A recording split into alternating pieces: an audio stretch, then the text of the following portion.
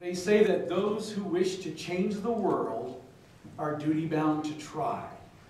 My name is Dave Snuggs, and I'm the founder of My Neighbor in Need and My Student in Need. So, what is My Neighbor in Need? Well, it's a 24 hour a day, seven day a week wish list where anyone with a specific need in a specific area can ask for help.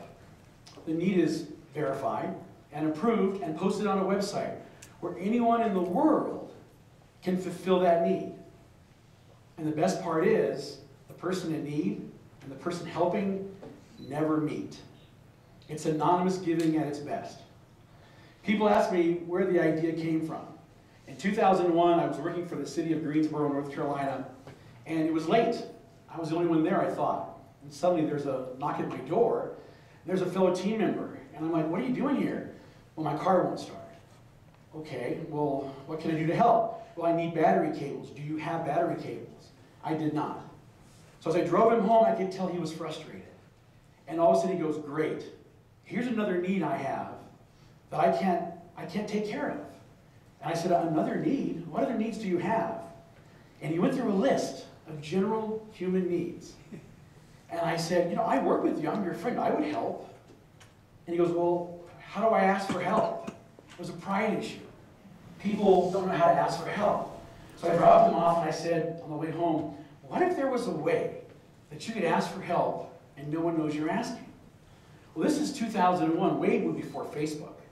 So I went home and couldn't find any way to do it. And the idea was pushed on the back burner, but it never went away. Flash forward 10 years. November 18th, 2011. My wife and I are at home watching the CBS Evening News with Scott Pelley. Here's where God comes in. We had never seen that show. We always watched Brian Williams and NBC. But for some reason on that day, that show was on. And during that show was a story about a guy in Lake Geneva, Wisconsin, named Sal Dimiceli. For 20 years, this guy has been helping his neighbors in need with pen and paper. When the show was over, I was so inspired, I said to myself, okay, I get it. I got this idea, I know it will work, I've got to find someone who can do this. So I went out and started talking to computer programmers. And a lot of them loved the idea, but they were more interested in how much money they could make off of it. In fact, one guy I asked, can you do this? Oh, sure, I can do it. How much is it going to cost? $10,000? Uh, I work for a nonprofit, I really can't afford that. So I went away. I got frustrated. And then I stopped and I said, you know what I need? I need a Mark Zuckerberg. I need a 20-year-old kid that knows how to write code. So I went out looking, and I ran across Tom Penwell. 28 years old, 6'5", 265 pounds. Delivers Chinese food at night, lives in his mom's basement, doesn't have a girlfriend. You're my guy. I met Tom, and I showed him the original drawings. And I said, can you do this? He looks at it and goes, yeah, I just have to write code. Okay, I'm 50, what does that mean? I had no idea what computer code was. I have to have the computer tell itself what to do. And you can do that? Sure. Okay, how much is it going to cost? I'm thinking, here it comes. Oh, I don't know. How's 500 bucks? I'll tell you what, I'll give you the grand if you can make it work. Okay. Two weeks later, he calls me up and he says, it's done. And he'd never seen anything like it before. And his quote to me was, what you have is Facebook for good deeds.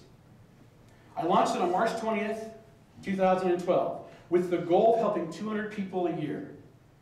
We're now 20 months old, and as of right now, we've helped 1,490 people in 20 months.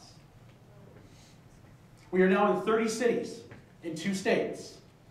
No financial gain, no help from the government. I actually had a government official come to me and go, what can the government do to help you? Being Italian, I said, stay out of my way. we can do it better, and we're doing it better every day. So what is a need? Right now, here in Cascade County, Montana, we have seven people in need. Let's see what's going on. If it's in red, it's an immediate need. What's interesting is, is that they're all generic, so you never know who's asking. You have an idea of the story, but not necessarily who they are. So for example, husband and wife working part-time, the wife is disabled, are in need of a used, clean, queen-size bed, mattress and box springs. They moved from a furnished, long-time mobile um, motel now to their very first apartment, and they don't have a bed. 62% of our needs are not financial. They are for simple things. Our number one request, beds. You have not experienced the joy that we have until you deliver someone a bed who's been sleeping on the floor. It's like you brought them the winning lottery ticket. Mm-hmm. Beds are our number one request. So let's say, for example, you go, well, you know, I've got an extra bed and I'm not using it and I want to donate it. You simply click the fulfill this need button. You give us your information, we get in contact with you, we pick up your bed, we deliver it to the neighbor in need.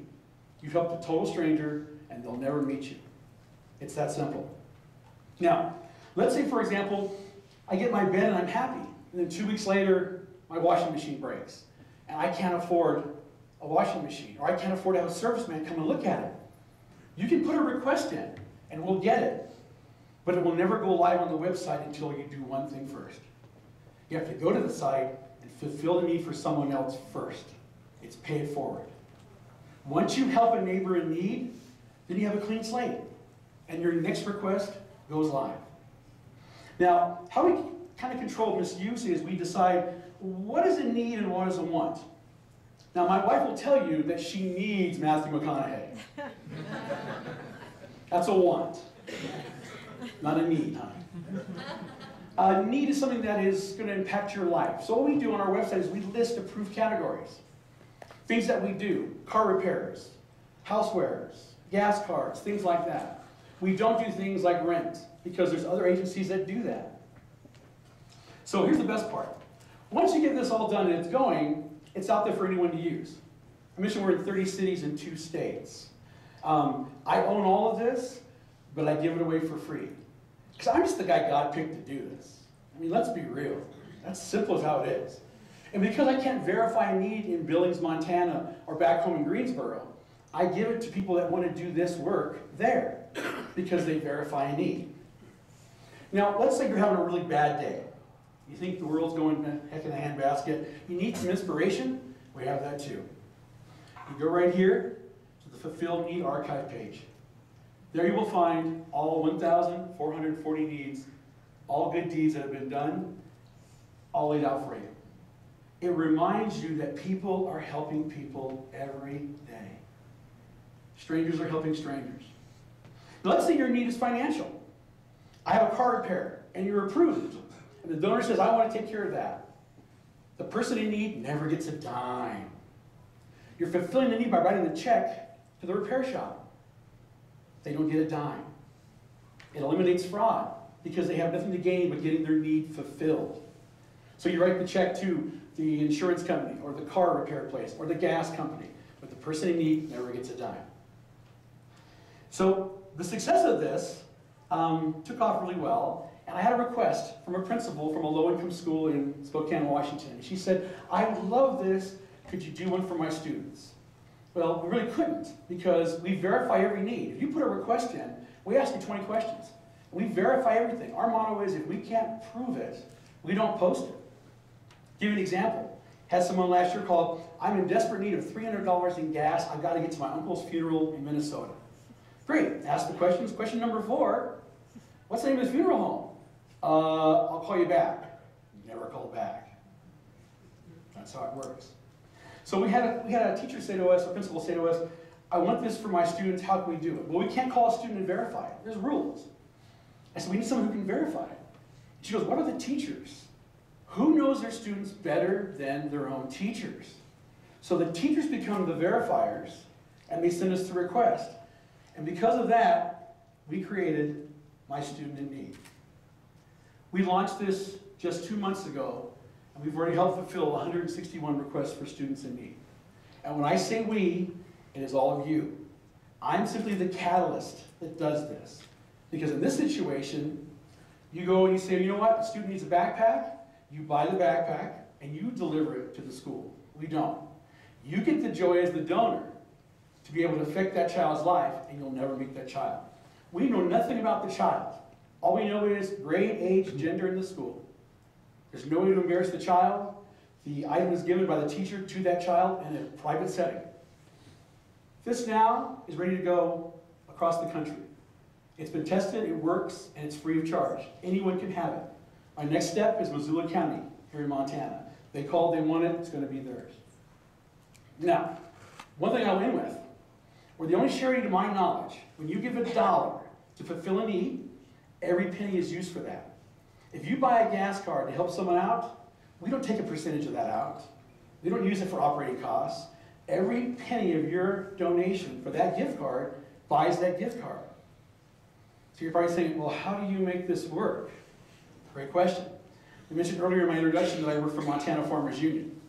Montana Farmers Union is a 501c3 company that uh, focuses on farming life. Well, who knows their neighbors better than a farmer? In fact, if you ask our board, I said to them, why did you get involved in this? One of our board members said, I know when my, my neighbor, my farmer, breaks down. When his combine breaks down, it's farmers to the rescue. They wanted to be into it. So they became our official partner. They pay all the operating costs for this program, for both, for two years. We have other partners in Dignity that provide us with free marketing. We write a column in the newspaper and things like that. But every dime you give goes to fulfill a need. We take nothing from that. Even our staff are sponsored. Picture a NASCAR driver. We have companies that pay that person to do our work. I want to end by giving you a number. The number is 1,440. What that represents is the number of minutes in every day. Every day you are given 1,440 minutes to do something with. What are you going to do with it? To help a student in need, it takes less than one minute. If not you, who? Thank you very much.